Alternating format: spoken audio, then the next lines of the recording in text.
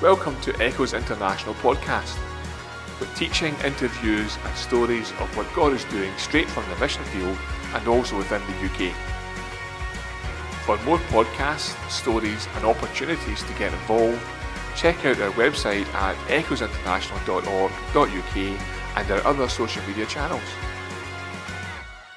And thanks again for your invitation to be here uh, this weekend. Um, if you have your Bibles, you can turn with me to Matthew chapter 4. Uh, that's where we're going to be camping out this afternoon. Uh, Matthew chapter 4.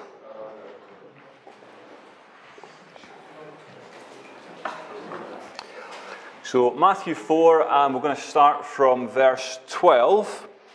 And there, there we read, Now when he, that's Jesus, heard that John had been arrested, he withdrew into Galilee. And leaving Nazareth, he went and lived in Capernaum by the sea in the territory of Zebulun and Naphtali so that what was spoken by the prophet Isaiah might be fulfilled. The land of Zebulun and the land of Naphtali, the way of the sea beyond the Jordan, Galilee of the Gentiles. The people dwelling in the darkness have seen a great light. And for those dwelling in the region and the shadow of death, on them a light has dawned. From that time, Jesus began to preach, saying, Repent, for the kingdom of heaven is at hand. While walking by the Sea of Galilee, he saw two brothers, Simon, who was called Peter, and Andrew, his brother, casting a net into the sea, for they were fishermen. And he said to them, Follow me, and I will make you fishers of men. Immediately they left their nets and they followed him. And going on from there, he saw two other brothers, James the son of Zebedee and John his brother, in the boat with Zebedee their father, mending their nets, and he called them. Immediately they left the boat and their father and followed him. And he went throughout all Galilee, teaching in their synagogues and proclaiming the gospel of the kingdom and healing every disease and every affliction among the people. So his fame spread throughout all Syria, and they brought him all the sick, those afflicted with various diseases and pains, those oppressed by demons, epileptics, and paralytics, and he healed them. And great crowds followed him from Galilee and Decapolis, and from Jerusalem and Judea, and from beyond the Jordan. And we trust God will add a blessing to the reading of His Word. The verses I want to, to focus in on uh, this afternoon with the time that we've got, He said to them, Follow me, and I will make you fishers of men. And immediately they left their nets and followed Him. I wonder what word jumps out at you from that, those verses, the ones that stand out as being quite shocking. For me, the one that I can't get my head around is the one immediately. They were called, and immediately they left everything behind and they followed after Jesus. For me, when it came to my calling into full time ministry, my response was not immediate.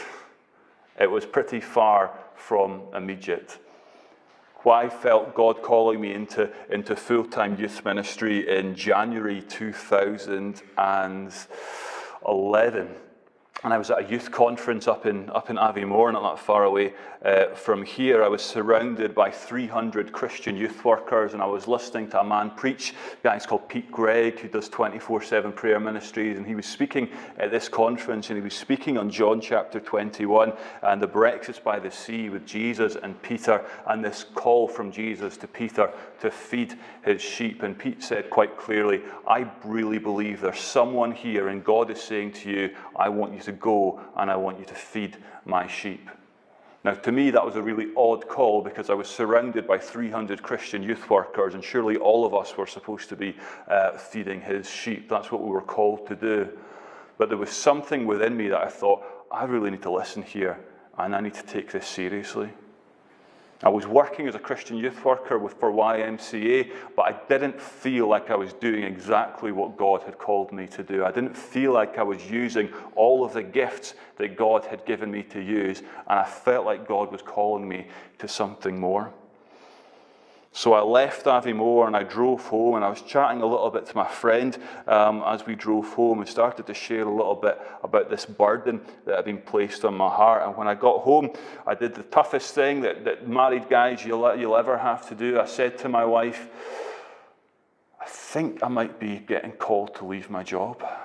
Now, if you ever want to see the blood leave your wife's face in the quickest time possible, say those words because Cheryl just went white. I said, Are you sure? I said, No, I'm not sure, but I'm pretty sure. And so that was January 2011. And from that point, we decided to just be deliberate in our conversations about this and to be speaking together as a couple about what this would mean and what God might be calling us to do.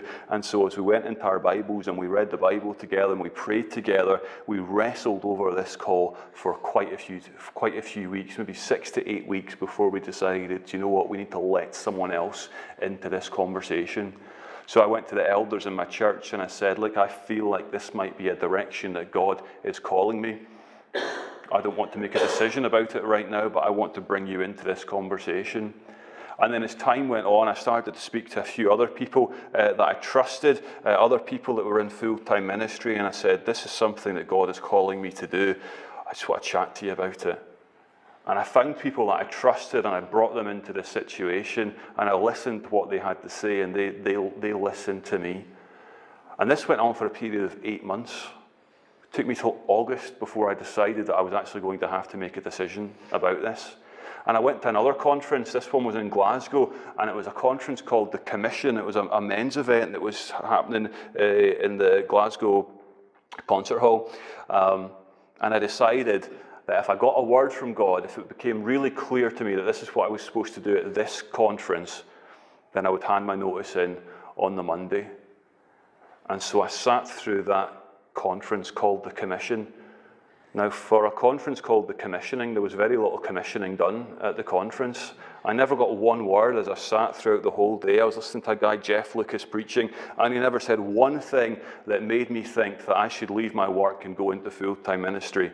In fact, at one point, he stopped what he was, he stopped where he was in his tracks and he screamed at the, at the crowd and he said, One of you is on the brink of disaster. I'm like, oh, brilliant. That's, that's, that's, that's, that's, the word for me. Okay, I'm definitely going down the wrong path here. So I started to feel quite comfortable and I started to feel, great, that's, that's it. This isn't for me. I can just keep on going. Life as normal. Brilliant. This is exactly what, um, what I was hoping for. But then at the end of the conference, as the worship leader was up, and it was Stuart Townend that was doing the worship, and it was the last hymn, and he was praying at the last hymn. And he said, God, there's someone here who's, who's searching uh, for an answer from you. And I believe that the answer is yes. I thought, oh, man. And for me, that was it. I knew at that point this was what I was going to have to do. The answer was yes, and the answer was go. And I went out in Glasgow. I had dinner with, with Cheryl, my wife, and my uh, sister, my brother in law, and started to speak to them about it. And then we went back to the concert hall for, for um, a, a, a Stuart Townend concert that, that, that evening. And as there was a little break in that concert, as Jeff Lucas came back out and did an epilogue, what did he speak on? John 21. Jesus and Peter, feed my sheep. And for eight months, that was my calling experience. And it felt like such tor- tor- turmoil in those eight months as I searched and I wrestled with God. And it felt like at times I was just completely on my own. I didn't know what God was doing. But now, when I zoom out and I look at those eight months, you know what it feels like God was doing was just tying a ribbon and tying a bow in my calling. That it would start with John 21 and it would end in John 21. And if you think about tying the bow, you know, there's the, there's the tension and there's the knots and it looks like a mess. And then suddenly there's just a flourish and you see exactly what God is doing. That was me. Eight months it took for me to figure out my calling and to make the decision to go and to make that, diff- that change. So when I read about Peter and I read about Andrew and I read about James and John and then seeing Jesus and Jesus saying, Leave everything and come and follow me, and immediately they do it. Immediately. What faith they must have, what they must have seen in Jesus to leave everything behind and to go and to, to make that change in their life. And that's why these verses are so important uh, to me. And we read so much about Jesus' ministry in these verses. You know, we started in verse 12 where we read about Jesus moving his headquarters, his bases, his base of operations from Nazareth to Capernaum. And you know, Matthew's the only gospel writer who really tells us about this, this move that Jesus makes. You would think that the Messiah, Jesus Christ, you would think that he would pick maybe a more appropriate headquarters for his ministry than Capernaum. You don't think the Son of God would set up shop in a place like Capernaum? To give you a modern day context for Capernaum, it's a bit like the Ibiza of today. It's where people went for debauchery. It's where people went uh, to get drunk. It's where people went to escape. It was this holiday destination where terrible, terrible things would happen. And yet, that's where Jesus decided that he would go and set up his base. He went to Capernaum. Um, and, and he went there. Uh, he went there because that's where the need was. He went there because that's where he was called, he, he was called to go.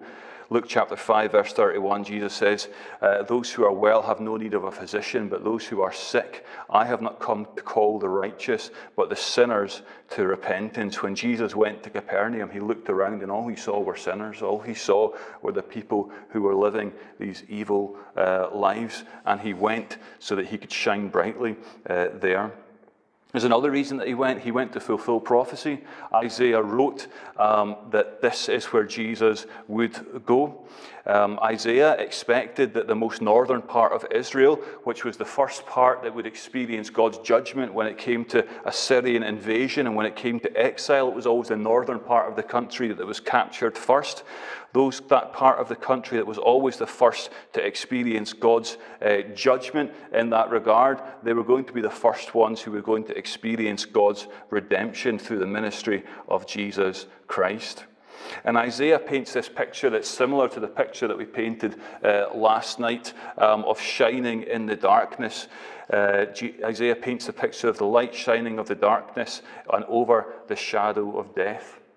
And you know, there's not, no darker thought there's no more terrible thought that you can think of than an enemy invasion coming into your land, an enemy coming away and stripping away your freedom. And that's exactly what these people had experienced under the hand of the Assyrians. They rejected God, and the enemy took over. And this is exactly the same for man today. This is the same for the people that we are going to go and call and be shine brightly for uh, and, uh, and, and share Jesus with. They are people who have rejected God so that they can have what they feel is their own freedoms to come in and take over the things that they feel is better. Man thinks that a rejection of God is a step towards freedom and liberty, but it's not. When we turn from God, we turn from light and we embrace darkness. We think we become masters of our own fate. We think we become masters of our own destiny.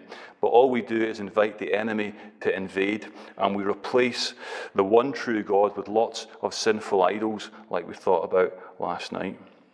The good news for us is that just like those people in Zebulun and Naphtali, is that God has loved us despite our rebellion.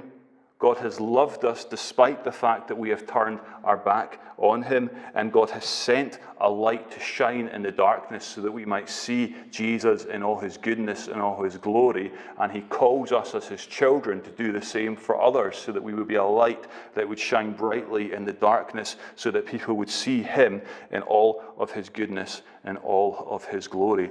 Jesus' message was repent, for the kingdom of heaven is at hand. This is the same message that we have for our brothers and our sisters and our colleagues and our friends that we have to repent, we have to turn around, we have to change the way that we're living because there's something better to live for. And that something and someone is Jesus Christ. And we need to turn out of our rebellion, break the chains of the captors because the King is here. We need to embrace him and experience, and, and, and by doing that, experience true freedom and true liberty. So, this was Jesus' message. He came to shine brightly, He came to be a light in the darkness. And He invited other people into that ministry. He invited people to walk alongside him. He invited people to learn with him. He invited people to be his disciples. And Jesus starts by approaching fishermen. Not scholars, not teachers, not lawyers, not priests. He starts by approaching fishermen. Does that not thrill your heart that God could use people from such humble backgrounds? For me, it's a great joy to know that God can use people from humble backgrounds because I am from a humble background. But sometimes I think we overplay the view that Jesus chose fishermen it's not that he just chose people from humble backgrounds. Jesus also chose educated men. Jesus also chose men of authority. He also chose uh, men and women of wealth. He also chose um, people who were educated. It's hard to paint Paul with the uneducated underdog brush. He says himself that he has every reason to boast. He's raised in Tarsus, the university hub of its day. He's educated by Gamaliel, the foremost teacher of his day. He's respected by religious leaders. He's comfortable amongst royalty. It's true to say that God can use anyone to advance his kingdom. It doesn't matter what your background is. It doesn't matter where you're coming from. It doesn't matter what your experience is. It matters that you love Jesus and you want to share him with others and you're willing to pay the price to do that. That's what, it, that's what matters if we're going to be called to a life of mission, that we are willing to count the cost to bring Jesus to others. God can use anyone for his kingdom expansion to bring glory to his name. How amazing that Jesus uses these four men to start his ministry alongside. How more amazing, though, that Jesus chooses anyone at all. Firstly, teachers don't pick their students, students pick their teachers. That's the way that it tends to work, isn't it? And we can appreciate that somewhat in the 21st century that no teacher has ever come to you and said, I want to teach you. It's always the, uh, the, the other way around. A student would seek out a teacher, not the other way, but Jesus is modeling something that would be the basis for our, our, redemption. That it's not about us coming to God, but it's about God coming to us. It's not about us choosing God, but it's about God choosing us. It's not about us getting to a level where we can be accepted, getting our education to a standard where we can justify having that teacher, which is the way the world sometimes works today, but it's about that teacher choosing us. It's about God choosing, choosing us. And Jesus seeks out these men just as he sought us out. He invests in these men just as He's a plan to invest in you and to teach you and to sanctify you and to make you more like Him. Just as He loves and cares for us, He loved and cared for these men. And just as He had a mission for those, these men, He has a mission for us as well. Jesus pursues us. Jesus enters into our lives. Jesus comes into our place of work. Jesus comes into our homes and says, Follow after me. He reminds us of this in John chapter 15, where he says, You did not choose me, but I chose you and appointed you that you should go and bear fruit, and that your fruit should abide, so that whatever you ask the Father in my name, he may give it to you. You did not choose me, but I chose you. I appointed you that you should go and you should bear fruit. I wonder if we really appreciate this that God has chosen us, He has appointed us, He has given us uh, this mandate that we should go and we should bear fruit. We do it because we are called, each and every one of us, just like Peter and Andrew and James and John, we have been called to go and make fishers of men. You know, when I was uh, in Arbroath, which is the, the, the, church that I grew up in, um, every January, February, similar to this actually, we would have a, a missions weekend where we had, would have, excuse me, minister, min, missionaries from all over the world coming uh, and sharing um, their stories of world mission. And for me, it was the best part of my church year. I just loved to sit and to listen to the stories of people that were being reached in South America and Africa and, and all across uh, all across the world. Uh, and we didn't get any of these fancy HD videos either. You know, we had to switch the lights off and have the slide projectors up, and you know, it says something when the most exciting thing that a seven year old saw in the church was when the slide projector was wheeled out uh, you know, we didn't have the fancy laser pointers either. We had the big long wooden sticks that you would also use to open the windows, uh, and that would be used to point to the people that were on the screen. And I remember one missionary coming, a man called Sam Hanlon, who um, was a missionary in Honduras, and I last sat for one weekend and just, just was captivated by his every word and the stories that he would bring from Honduras. And I remember him preaching on Matthew chapter 4, and I was seven years old, and I can still remember that he preached on Matthew chapter 4 and talked about these verses I will make you fishers of men if you follow me. And the way that he uh, embedded it into, into my mind was that we sat and we sang the chorus, you know, the children's chorus I will make you fishers of men if you follow me one of the most repetitive children's choruses that there ever is because those are the words and you sing it a hundred times. Uh, and you, you, would, you would try and make this, the chorus a little bit more interesting by the female standing up for the fishers and the male standing up uh, for the men, uh, just, so, just, just so you could get through it. Um, but you came to the, the 99th time of singing the lines. Uh, but Sam taught us how to sing it uh, in whatever language it is that he was uh, he, that, that, he taught um, taught us from, from Honduras. And I can still remember it now. Pescadore, USRA, semi segi re. You know, this, these lines that are so simple and so easy to understand. But the challenge of these lines is immense. The challenge that is here is such a simple statement, but actually, if we're to apply it to our life, it is so far from simple. In fact, it's probably the most challenging command given to mankind in all of Scripture that we are to go and we are to be fishers of men. It's the mission given to us by God in a nutshell, clearly stating what God wants and expects us to do as His people, namely to go into the world and preach the gospel to every creature and to give your all to Him. C.H. Spurgeon said, Your business, your business is to go into all the world and preach the gospel to every creature, and God's business is to draw his own to himself. This is what we are called to do to go and to preach the word. We are to go into all the world and preach the gospel to every creature. We are to go and to be fishers of men, just like these, these four disciples. I don't know if you've ever fished before. I'm not a particularly good fisherman. My son loves to fish, and I don't understand it um, at all. Uh, one of the things I do quite like to do, though, is early in the morning. If I, I'm up early with the kids, you tend to flick on the, uh, one of these documentary channels, and you'll see uh, Robson Green standing at his front door in one of these fishing documentaries.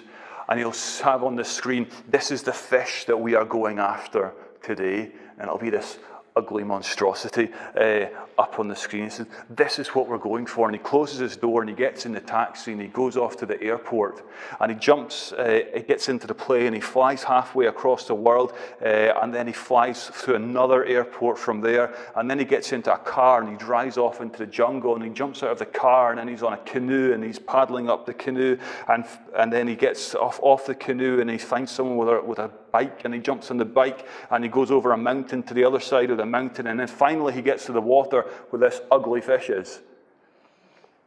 And you think, wow, that's determination, isn't it? That you're willing to go that far for, for this fish.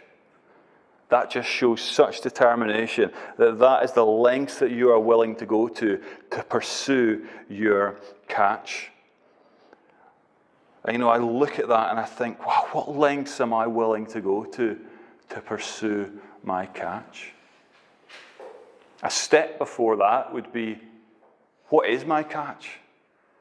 Who is it that I'm actually called to go and to fish for? If I'm going to go and fish for someone, if I'm going to go and try and share the gospel, and I'm going to make that person my fish, that's the person that God has placed on my heart to bring to Him, who is that? And who is that for you?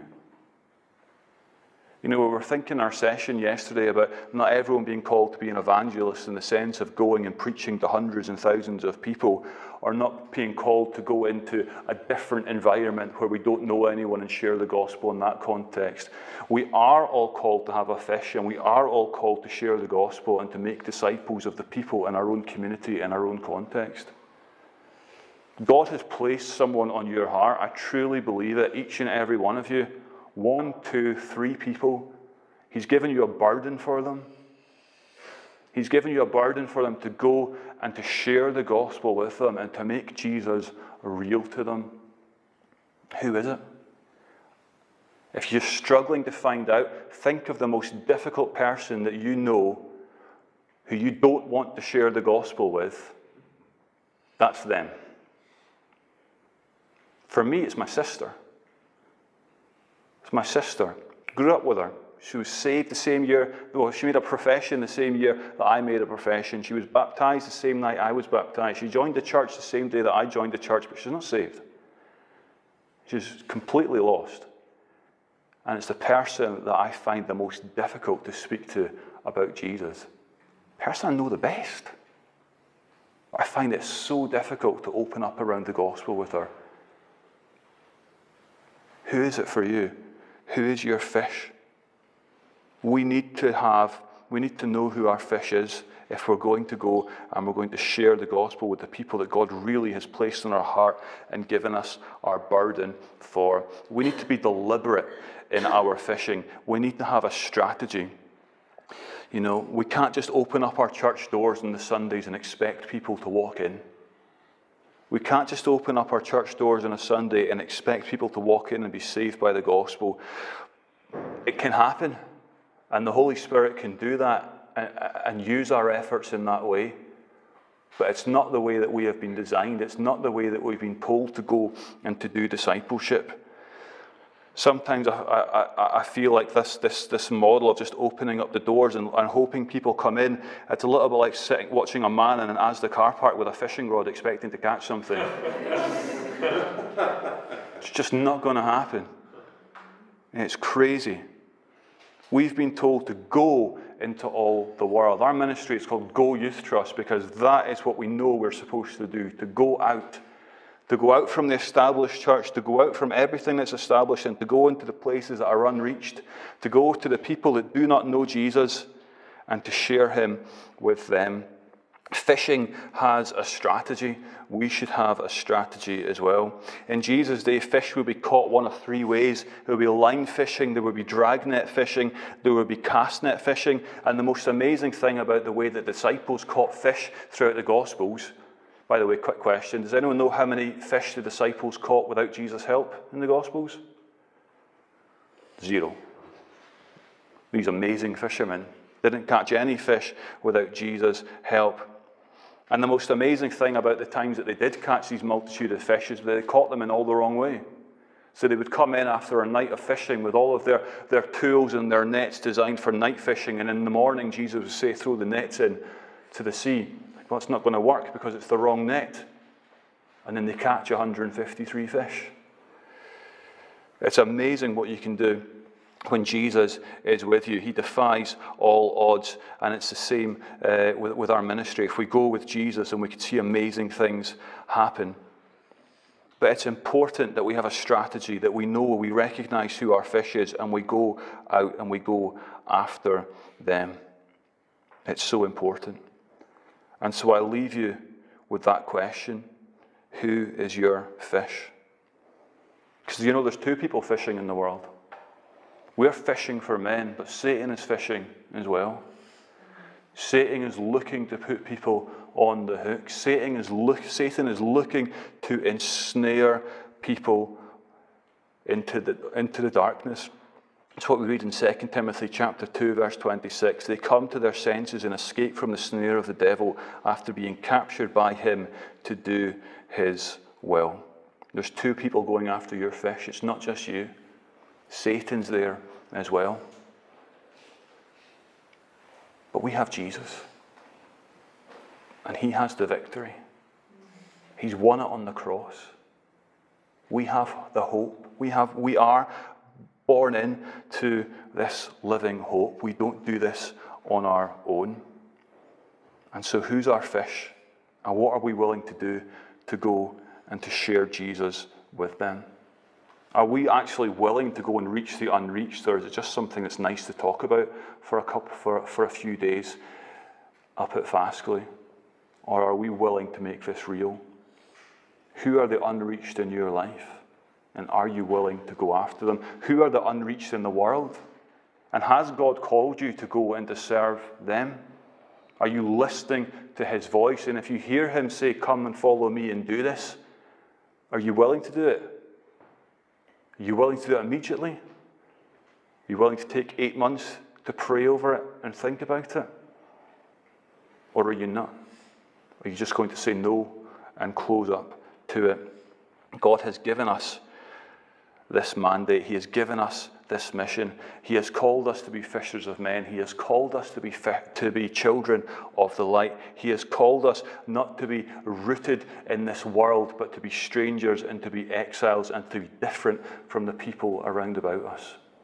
Are we willing to be all of those things? We hope you're encouraged and inspired and ready to answer the call. Thank you for listening.